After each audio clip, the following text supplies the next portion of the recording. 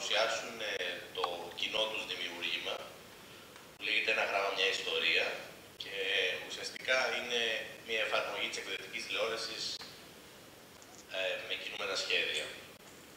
Ευχαριστούμε πάρα πολύ το Φεστιβάλ Άνεμα Ξύλος και την τρίτη χρονιά συνεχίζει με πάρα πολύ ενδιαφέρουσες έτσι, ομιλίες και προβολές.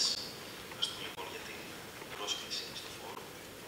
Η ελληνική παραγωγή ταινιών animation έχει ελάχιστα παραδείγματα ταινιών που απευθύνονται σε παιδιά, παρά το γεγονός ότι ως μέσο είναι, θα έλεγα μαζί με τη μουσική, το πλέον προσφυλέ σε αυτά.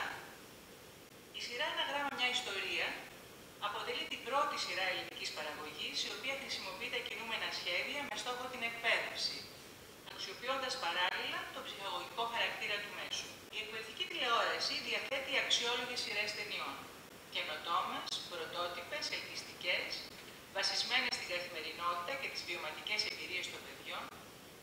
μάθηση στην πλοκή και ενεργοποιούν το ενδιαφέρον του μαθητή. Η διάρκεια τους από 5-15 λεπτά επιτρέπει την αξιοποίησή τους μέσα σε μία διδακτική ώρα. Η εκπαιδευτική ταινία αποτελεί μία σύνθεση της τηλεοπτικής και της παιδαγωγικής γλώσσας.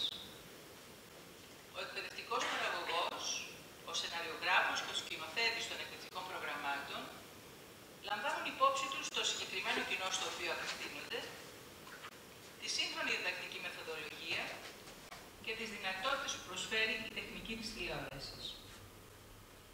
Η συγγραφή ενός εκπαιδευτικού σεναρίου είναι μία εκπαιδευτική και συγχρόνως καλλιτεχνική διαδικασία. Συνδυάζει τη γνώση και εμπειρία του εκπαιδευτικού και τη χαρισματική φαντασία του σκηνοθέτη. Το εκπαιδευτικό σενάριο θα μπορούσαμε να πούμε πως είναι ένα μεταμφιεσμένο μάθημα στο οποίο έχουν αξιοποιηθεί οι δυνατότητες του μέσου και ιδιαίτερα της εικόνας με σκοπό τη μετάδοση γνώσεων με τρόπο άμεσο, ελκυστικό και αποτελεσματικό. Ο εκπαιδευτικός, ο σεναριογράφος και ο σκηνοθέτης, λαμβάνοντας υπόψη τα χαρακτηριστικά του πληθυσμού που απευθύνονται και το περιεχόμενο, αποφασίζουν με ποιες μεθόδους και ποια μέσα θα παρουσιάσουν το παιδαγωγικό μήνυμα. Στα σενάρια των επεισοδίων της σειράς Ένα γράμμα, μια ιστορία, χρησιμοποιήθηκε η ποίηση ω ένα πολύ δυνατό διδακτικό εργαλείο, γιατί η ποίηση προσφέρει χαρά και απόλαυση στο μαθητή προσφέρει την εμπειρία νέων τρόπων χρήσης γνωστών λέξεων.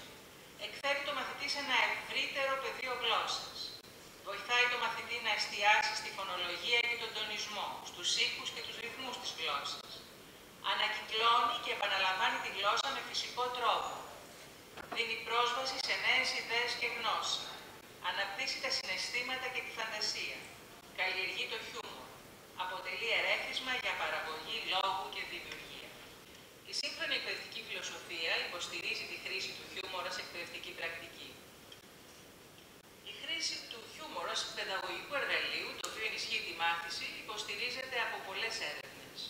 Το χιούμορ δημιουργεί καλύτερο περιβάλλον μάθησης, αυξάνει το ενδιαφέρον και την προσοχή των μαθητών, ενώ τα χαρακτηριστικά του στοιχεία, η αναλογία και η μεταφορά, ενισχύουν την κατανόηση και τη διατήρηση της πληροφορίας.